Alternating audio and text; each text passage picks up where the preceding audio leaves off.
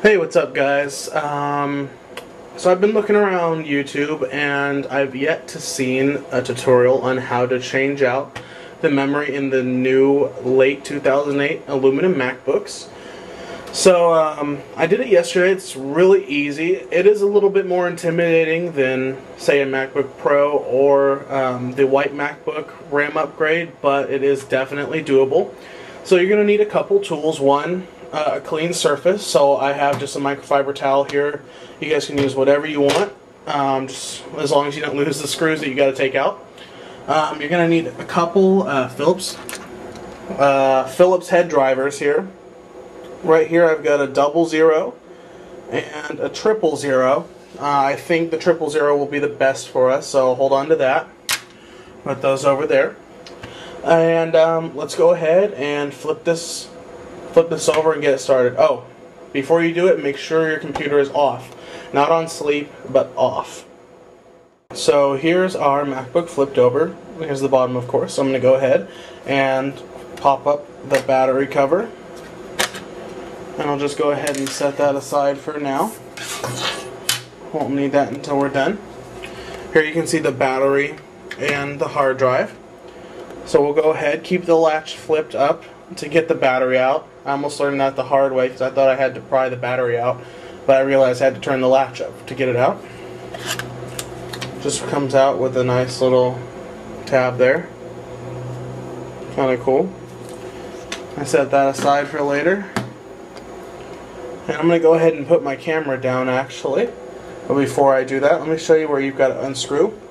There's a Phillips here, there, one there, and there for four.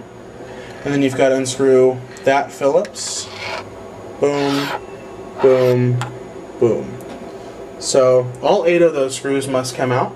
I'm going to go ahead and do that for you guys. Okay, so now that I uh, unmoved, that I removed all uh, of those eight screws, let's go ahead and lift it up. We'll see what's under here.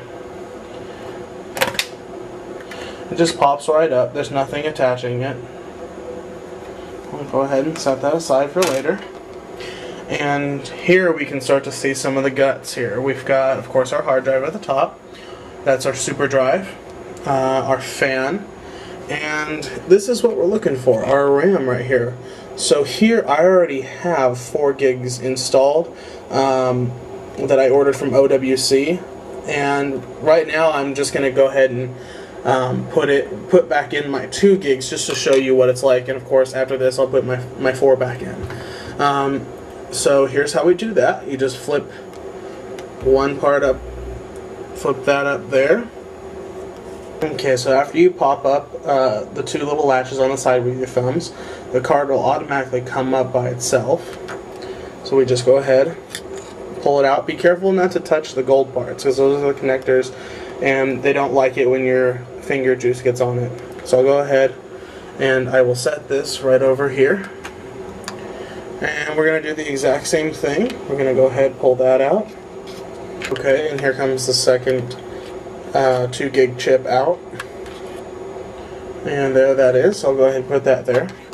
I've got it resting on top of my other uh, my other 1 gig chips. Um, so just for time's sake, since those are already out, I'll go ahead and put those back in. And you can see right down here that we've got in our little tray here, we got a longer side and a shorter side. So that's how you're going to go ahead and put those cards back in according to which side is which. So right here, I'll go ahead. You just have to put it down in there very gently. So it'll sit back down.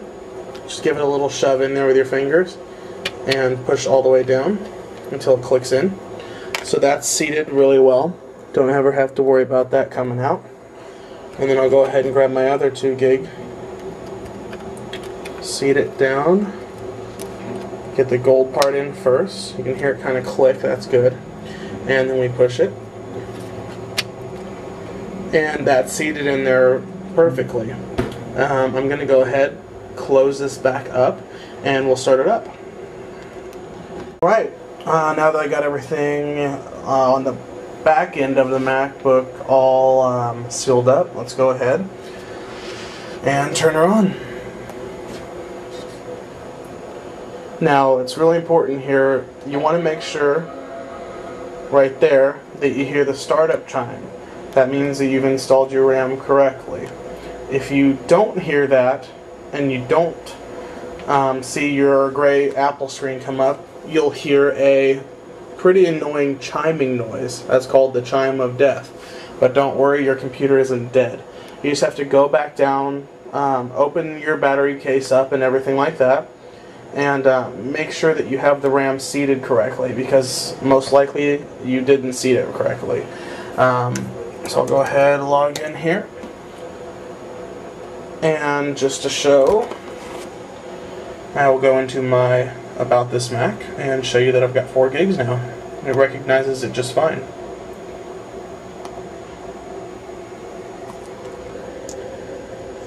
Perfect. And that's about it for this uh, tutorial. Maybe I'll post some later. Take it easy, guys.